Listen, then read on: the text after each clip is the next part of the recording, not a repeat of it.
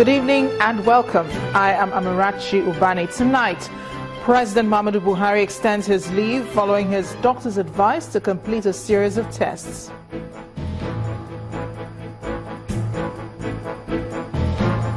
Popular musician Two-Face Idibia bows to pressure as he calls off his proposed mass protest, citing security concerns. The army situates a military battalion in southern Kaduna as part of efforts to improve security situation in the state. And the U.S. Appeals Court rejects uh, Donald Trump's administration's request to reinstate a travel ban blocked by a federal judge on Friday.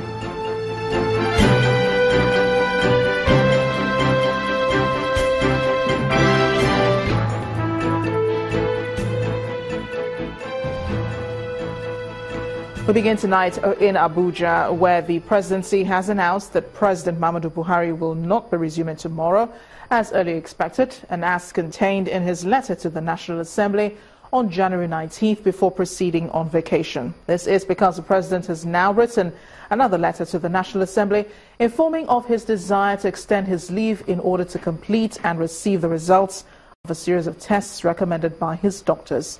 According to a statement issued by the Special Advisor on Media and Publicity to the President, Mr. Femi Adesina, the President, who had planned to return to Abuja this evening, has been advised by his doctor to complete the test cycle before returning. The notice has since been sent to the Senate President and Speaker of the House of Representatives. The statement adds that the President expresses his sincere gratitude to Nigerians for their concern, prayers, and kind wishes. Meanwhile, a senior lawyer and rights activist, Mr. Femi Falana, has advised the presidency to do more in telling Nigerians about the president's health status as it did last year. Mr. Falana says Nigerians have the right to know and says the presidency started on a good note by informing the nation of the treatment of an ear infection last time. More information this time round will remove speculation and erase any form of rumor. Mr. Falana was speaking on our political program, Sunday Politics.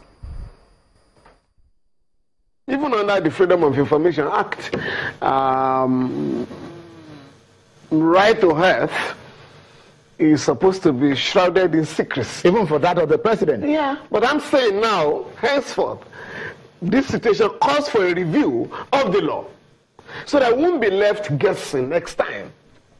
And we're talking of the president. Many state governors go in and out of the country, some for a month or two, some for up to three months, without anybody asking any question, without any handover to their uh, deputies, you know. So, but I, am saying that with what we are going through now, because we can't just go on guessing, speculating about the health of the president or the governor of a state. We must get to, uh, we must join the civilized community. We must come to appreciate. Now, if you are going to a public office, you have no secrecy. No secrecy. Everything must be must be on the table. Is for uh, the presidential and uh, presidency official to advise the president, to remind the president. Last last year, you did inform Nigeria that you have an ENT that you problem. have problems with your ears, which you are going to treat. This year, Nigerians are desirous to know what is, is, is, is the problem. We, it's our duty, it's our right. And the president took cognizance of that last year when he disclosed to Nigeria what he was going abroad for.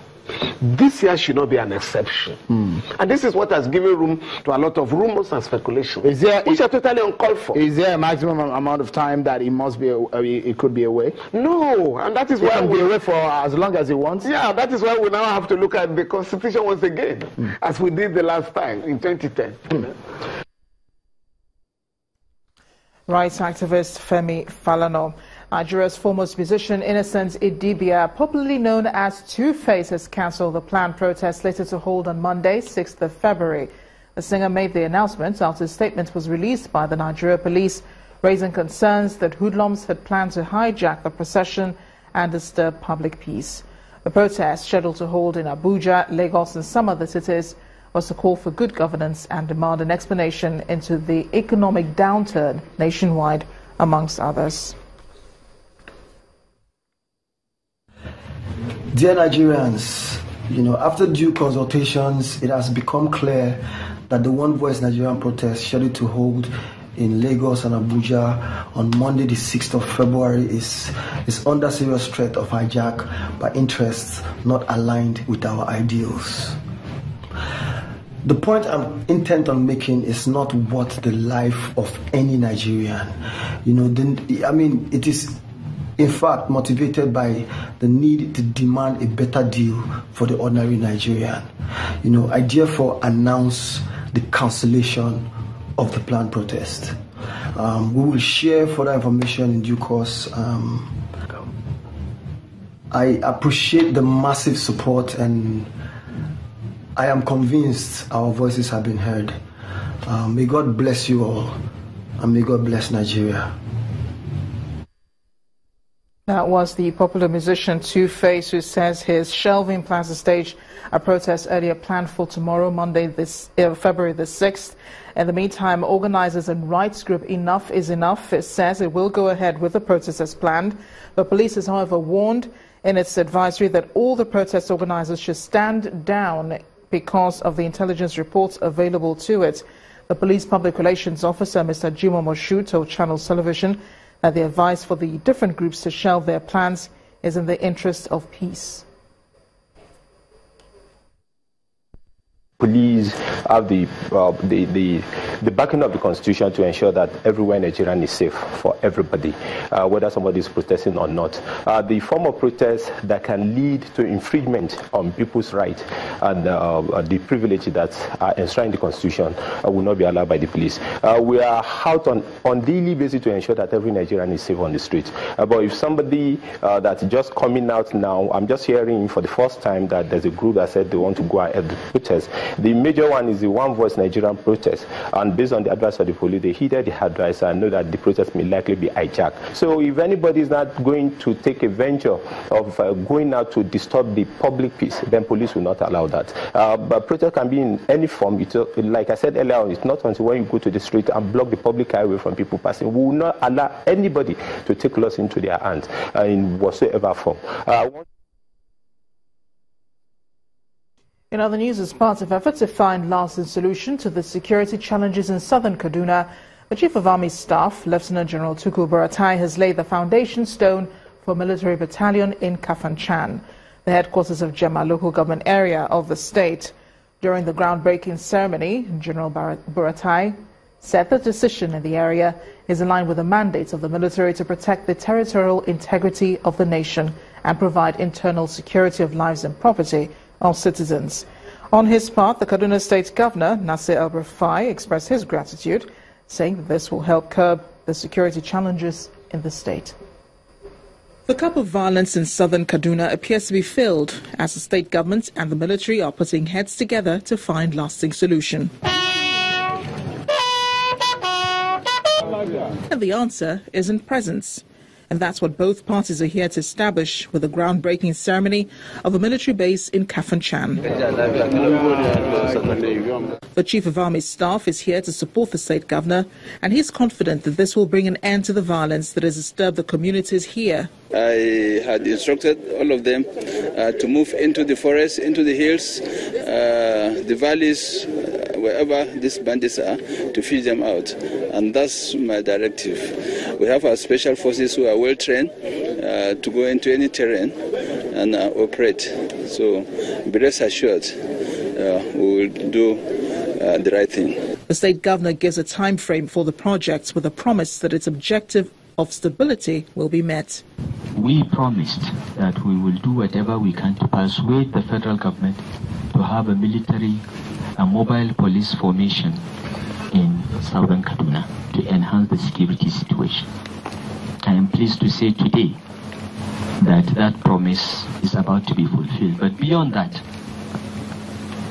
instead of one military formation, the President, on the recommendation of the Chief of Army Staff, has approved the establishment of yet another one to be sited in Kachia local government. The people break into dancing with optimism that this will surely stop the killings and bring about the much needed peace. The Nigeria Pilgrims Commission and the National Hajj Commission of Nigeria are planning to convene a national dialogue to entrench peace between the two major religions in the country. During a courtesy visit to the Hajj Commission, the Executive Secretary of the Nigeria Pilgrim Christian Pilgrim Commission, Reverend Uja Tor Uja, called on Christians and Muslims to work together to strengthen cooperation between the Christian Pilgrim Commission and the Hajj Commission. I want it to be a genuine peace move that will enable Christians and Muslims live together, practice their religion, encourage each other, and uh, strengthen what they are doing and build a virile Nigeria. The great platform Nigeria has given us is something that must not be broken. And I believe that if we work together, there's no limit to what Nigeria will achieve. I think Nigeria is the only country that has the kind of baseline we have. And if we invest in this baseline, we are going to take the world. So when there is a will, the resources will come. We appreciate all the efforts different groups have made. But I want to think that many times what people say in the secret is different from what they say and do in the open. We want it to be a genuine peace move that will enable Christians and Muslims live together, practice their religion, encourage each other, and uh, strengthen what they are doing and build a virile Nigeria. The great platform Nigeria has given us is something that must not be broken. And I believe that if we work together, there's no limit to what Nigeria will achieve. I think Nigeria is the only country that has the kind of baseline we have. And if we invest in this baseline, we are going to take the world. So when there is a will, the resources will come. We appreciate all the efforts different groups have made. But I want to think that many times what people say in the secret is different from what they say and do in the open. We want it to be a genuine peace move that will enable Christians and Muslims live together, practice their religion, encourage each other, and uh, strengthen what they are doing and build a virile Nigeria. The great platform Nigeria has given us is something that must not be broken. And I believe that if we work together, there's no limit to what Nigeria will achieve. I think Nigeria is the only country that has the kind of baseline we have. And if we Staying with security issues, 8,000 internally displaced persons who have fled Mafa, a Borno town sacked by insurgents, have found temporary shelter in an open space in Maiduguri. Though unofficial, the camp is home to men, women and children who have suffered deprivation and hunger. However, the partnership between the states and some organizations appear to be bringing succor their way.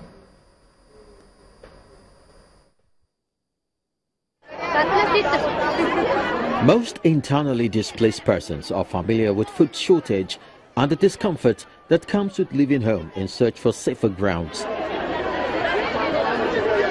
With barely enough to feed the family, Parents and caregivers are less concerned about nutritional values of the food within their reach. The Muna Garage IDP camp is one of the unofficial camps within the metropolis, accounting for no fewer than 8,000 persons. We are not finding it easy here, and our problem is purely hunger. We do not need clothes or homes. We have access to Medicare, but the food is never enough. We all do menial jobs. Those who can't work send their kids to beg for food.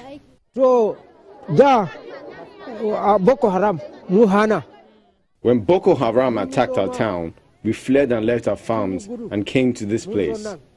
Now we don't have enough, and we can't go back home because we are still scared. We did not bring anything when we fled home, and we are here with our wives and children. The Borno state government has been partnering organizations to address specific needs of the overwhelming number of IDPs in the state. The latest partner has shown interest in providing rehabilitation and emergency nutrition centers for malnourished IDPs and the first beneficiaries are families at the Muna Garage Camp. During the week, we, in partnership with the Borno State Ministry of Health, we are going to be distributing the foods, the medication and whatnot to other communities, IDP camps, not just IDP camps, but communities that need the, the, the products um, around the state. Last year, children reportedly died of malnutrition and hunger in IDP camps around Borno State. Most of those affected are those rescued by the military from Boko Haram captivity, already incapacitated by hunger. In part two, after the break, Minister of Works, Power and Housing inspects federal roads in Anambra State as part of his tour of the southeast. Please join us again.